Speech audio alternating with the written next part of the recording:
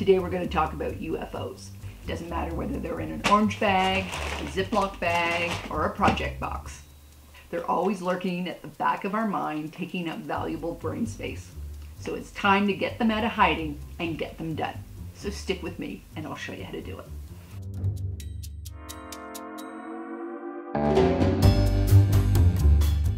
I'm Karen Brown of Just Get It Done Quilts. I give you tips, tricks, and strategies to help you make the quilt that you want to make.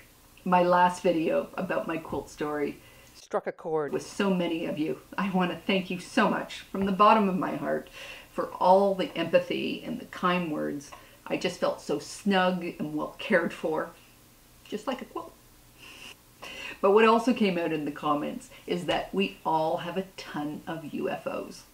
They're in our sewing rooms, the back of our closets, in our garage, in the basement, and it's time to bring them out and give them some air.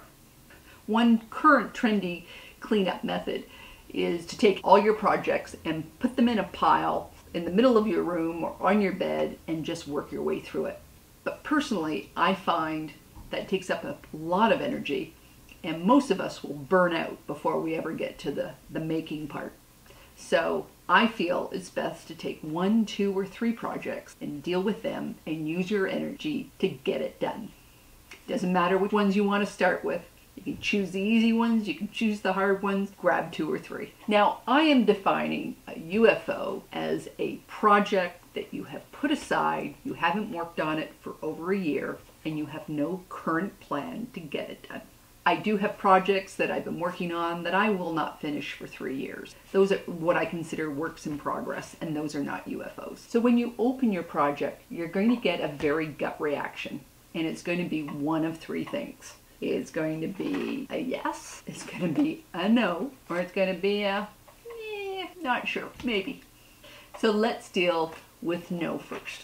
When you open up a project and you get a strong negative reaction, my friends, life is too short to be spending time on projects that don't bring you any joy. Don't worry about how much the fabric costs. Don't worry about how much time you've invested in it. If a fabric or pattern brings up some really bad sojo, get rid of it. You sell it, you donate it, you incinerate it if you must. It's just that simple. Yes projects are projects that you do want to finish but somehow life got in the way and it got put on the back burner and it's just time to bring it back on the front. The first thing you want to do with your UFO is you want to find the pattern and you want to read it. You just want to refamiliarize yourself how it's made and what's going forward.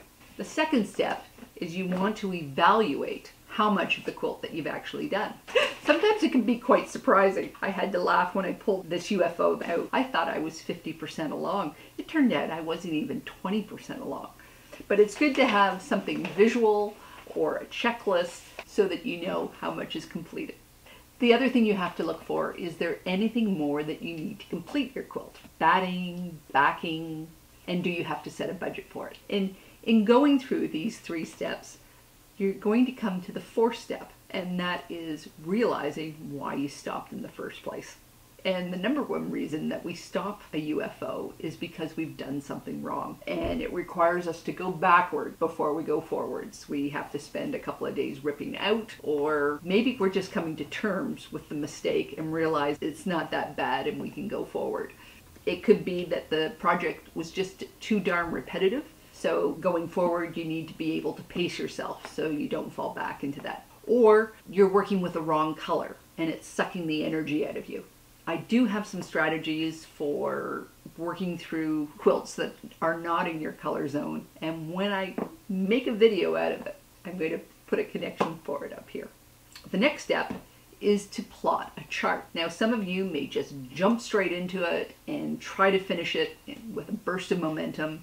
But personally, I like to set a checklist. A checklist will help you pace yourself so you're not overcome by boredom or all the issues when you're working outside your color zone. And the last step is to set a realistic start date and finish date. You don't have to start a UFO right now. Maybe you start it when you're finished the project that you're working on or you're going to do it when you go to the cottage or you're going to do it when you come back from a particular trip. You also need to set a realistic finish date. There's no rush. And steady over fast will get you to the finish line. So now let's deal with the much trickier, yeah, not quite sure. There's a number of reasons for UFOs to be in this pile. But truly, the, the biggest reason is that you're not in love with it. It could be a beginner mistake in your enthusiasm for the new craft that you were doing. You made some bad choices, wrong fabric, or pattern that stretched you too far or colors that weren't yours. Or perhaps you it's an old workshop project. You took a workshop at a conference and there was a fabric purchase list but once you finished the workshop you really didn't feel any momentum to finish. There there are the what was I thinking project where you tried to stretch yourself, go outside your comfort zone. And there's a reason why it was outside your comfort zone. Or the too long gone quilts. You were going to make them for a child or a baby. Now they're going off to college. Or for a couple for their wedding and now they're getting divorced. Or for a special person who has since passed. What all these projects have in common is that you have cut pieces of fabric and some unfinished blocks. What they also have in common is that they require an investment of time and money to complete. You probably have batting to buy, backing to buy, binding. You may have to pay a long armer or pay long arm rental fees. And truly, do you want to make that investment to finish it? And if you don't, perhaps that project the no pile. But what happens if you're still hmm, Maybe. So you can take that project. Perhaps there's somebody in your life that you realize needs a quilt. Now, if you can take that person's face and put it with the quilt, knowing that they will appreciate it, is that enough motivation to get the quilt done? If it is, then we move it into the yes pile. What happens if you're still going, mm, maybe? If you took your finished blocks from your project and you just put them in a simplified grid with a lot of negative space and then call it done. Is that enough to motivate you? Would you finish that kind of quilt? And if so, then let's move that into the yes pile. If you're still going, not sure, well, what happens if you took those same blocks and instead of making a big quilt, you just made a baby quilt, or maybe a table runner, or maybe a pillow? Is that enough to complete the project? And if that's enough, then we move it into the yes pile. And that's exactly what I'm going to do with this project right here. I've looked at it, I've seen, I've made some pieces, and I'm going to turn it all into baby quilt. I'll be fast, done, and over. You could throw a Hail Mary to your quilting friends.